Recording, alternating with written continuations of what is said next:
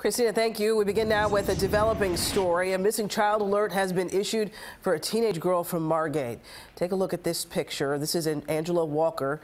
She was reported missing by her mother, last seen at 11 o'clock last night at her home in the area of the 3100 block of Merrick Terrace. Angela is 14 years old, is about 5 feet tall. She has black hair with long braids and is carrying a backpack. If you know where she is, you're asked to call the Margate Police Department at 954 972 7111 or call 911.